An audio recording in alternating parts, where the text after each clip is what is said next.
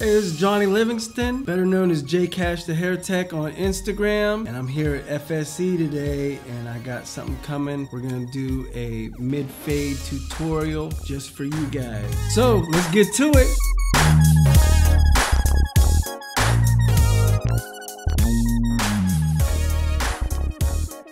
So let's get started. We're gonna use the Babyliss FX673 I'm going to start with my first guideline all the way closed. I'm going to go just below the temple peak point.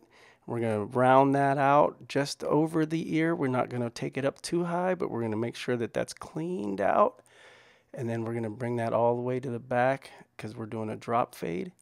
And then we're going to stop there and then we're going to repeat to the other side.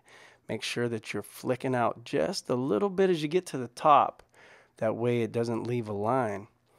Um, most of this fade I'm going to be using like just the edge edges of the clipper uh, from the center over or less. So now that we started closed, we're just going to open a little bit and then we're going to go open all the way. So we already went through once and we uh, started with about the like second position and we just went up a little bit. Now we're fully open and we're doing that again. We're going to go to the left side and then we're going to go to the right side. Remember, uh, just as you're getting to the hair, you're going to flick up and get that C motion going. That way you're not leaving a line. And you make sure you're doing small increments. That way you do not go up higher than what need to be. So now we're going to use a three guard and we're going to use a three guard to take out some of this bulk and we're going to go all the way up to the parietal ridge area and we're going to go straight up. Do not go into the hair, into the crown area. Just go straight up from the parietal ridge area. And then we're going to go back and we're going to do the other side all the way to the back. Make sure that you're going left and right. Make sure you're crisscrossing because hair grows in all different directions. Don't just make one pass. Doing the same thing, make sure you're going straight up and down through the parietal ridge. Just doing a little bit more refining and a little bit more cleaning. Now we're going to take the one guard and we're going to do the same thing. I believe we're going to do start with the one guard open and we're just going to use the like the last three teeth and I'm just going to use the edges of the of the blade. We're going to go about halfway from our last guideline. Just using the corners. And then you, you, you'll see the dark spots and you just, just tap them. You just want to feather them out just a little bit. And you can see from the shot when they go from, from the top that you can see the angle that I'm using. There it goes right there. And the angle is just everything because it keeps it clean and it keeps you from making other guidelines. Just keep cleaning it out, keep refining. Then we're going to go and we're going to start closing. And now we're going to go down. We're not going to keep going up towards the parietal ridge. We're going, we're actually fading down. And, we're, and what I was just showing there was the position open first, middle, and then closed.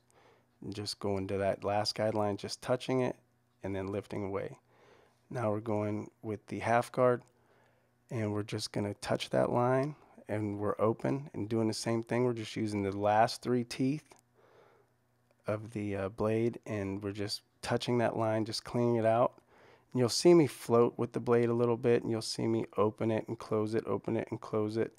And I'm just cleaning out dark spots that are in the fade. But you see from the top angle that I've really got that angled out and I'm only using three teeth you'll see me mess with the lever a little bit and it's open and then you'll see it closed and then that's just refining the fade and cleaning it out. Getting rid of any little dark spots that I see. I'm going to use my favorite comb do some clipper over comb technique and we're just remember you, we're not going into the crown area. You're coming straight up off the fade and we're coming out. Just cleaning off some of that bulk and refining it and making sure it looks really really clean Now we're going to go where we started, all the way closed. And we're just going to touch that line. And then we're going to go right into the beard and we're going to start going down into the beard, opening slight increments and going about an eighth to a sixteenth of an inch down and just using the corners again. And this is going to help separate it and um, make it real clean. You're just going to keep doing that all the way down, all the way up until we get the uh, one guard on. We're going to do the same thing. We're just going to use the one guard and we're going to start with it open or closed and then we're going to open it up as we go down. Don't want to go down too far. I like to use the ear as a guide. Now here we are in the back and I wanted to show the contrast. I keep the hair there to show the contrast and I also wanted to show you two dark spots there that we're going to take care of later when we go with the clipper over comb. Now that is the Babyliss Original FX 765. Those are my balding clippers and my liners. And on here, we're just going to go right up to the line that we, that we started with.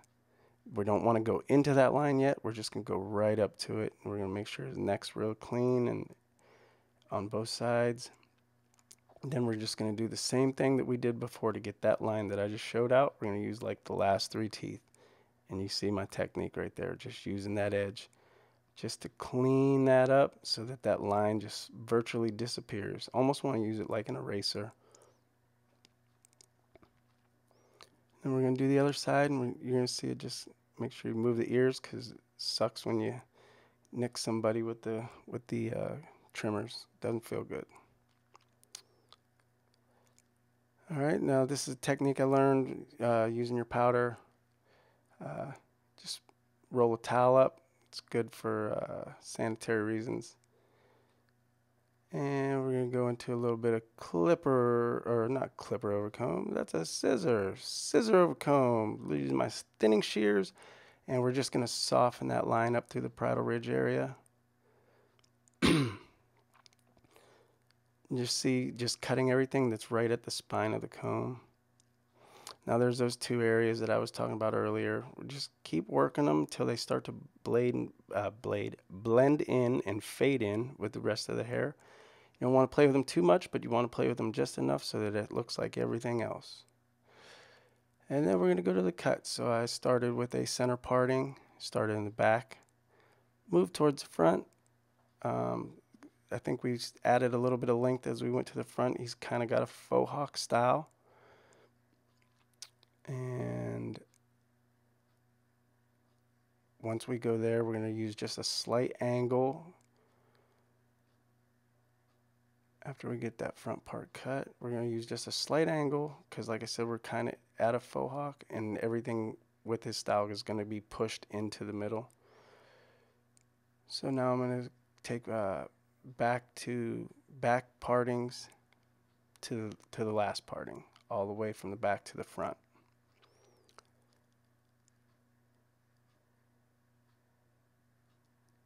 Making sure that everything is nice and even, double checking. And the way I like to check is to go from front to back because we just went back to front. Then we're going to join the sides with the top and we're going to take those pieces and we're going to make sure that they're nice and even and that they're blended well, blending the side into the top part of the haircut. We're going to do the same thing to the other side. He had a couple of uh, cowlicks in there that we had to deal with, so and just shattering the front out a little bit just to soften it up, just to soften them ends up.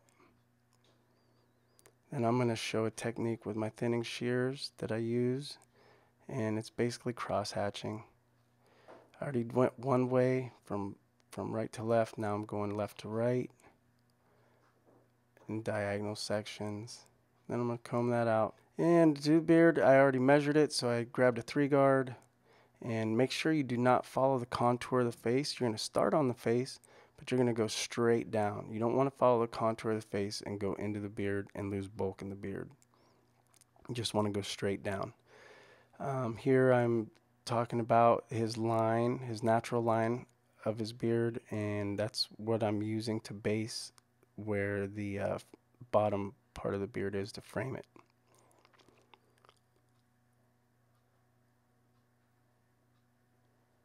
Just making sure that's real clean. We're going to go over to the other side. We're going to do the same thing.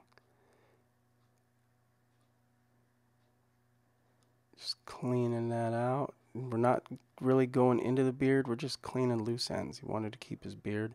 Here's a little trick I have before we line them up. Uh, you just use a spritz and uh, put it on neck strip. Put it on the hairline. Here I am talking about the temple peak point and where if we were to put a hard line on the temple peak point where it should be, it should be between the ridge of the eyebrow and the end of the eyebrow. So now I'm going to anchor my middle finger right to his cheekbone. And from that point, I should be able to make a full half circle. A full half circle. a half circle. And uh, it should come with, it should make for a very good line. I'm going to clean up a little bit on the back side of the beard. All the way up to the ear.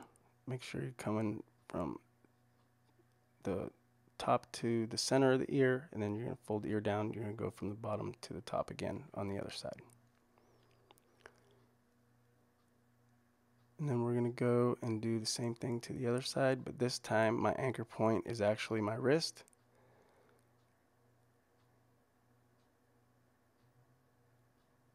And it does the same thing. Then we're going to clean his mustache off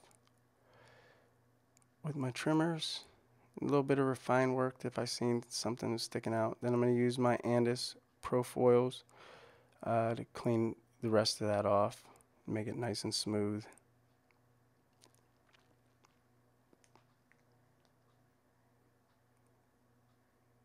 Then I'm going to blow dry, um, blow drying it the same way that I'm going to style it or that he's going to style it. And he likes to just push it to the middle, um, wants something that was quick and easy. So we're going to use the Maverick Dry Paste by Mitch. And this is a way I like to get it warmed up a little bit because sometimes the dry paste is a little hard.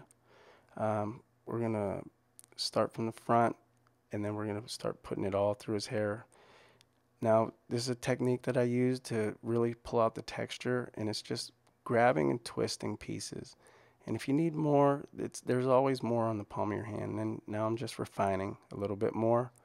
And then look at that. Look at all that texture in that. Oh, we. Oh, we. We got a new man in the house. Cleaning him up.